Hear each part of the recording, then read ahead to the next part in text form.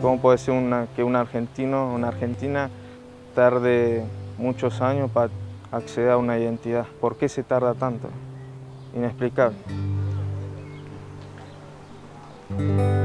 Yo laburo en construcción con mi, con mi viejo y mis hermanos.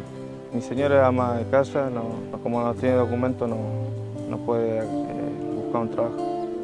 Fue un día de lluvia, explotó esto de la pandemia y no sabía qué hacer porque eh, no tenía a veces ni, eh, ni que darle que comer a mis hijos. Y decidí hacer un video para que le llegue el video al presidente, que vea mi caso y que cambie. Le decía que mi señor tenga el documento y para que mis chicos puedan acceder a la asignación universal por hijo. Mis hijos tienen el derecho de acceder.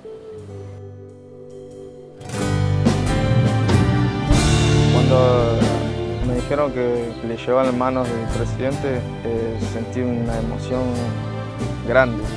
Se me cruzó por la cabeza los más de siete años peleándola y...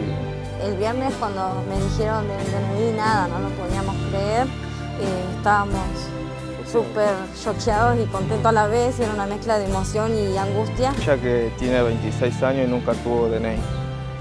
Y otro, para que mis chicos puedan eh, tener lo básico de tener su ingreso por mes, otorga la ayuda del, gobierno.